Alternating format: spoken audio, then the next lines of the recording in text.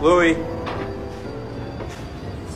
a moment of pain is worth a lifetime of glory.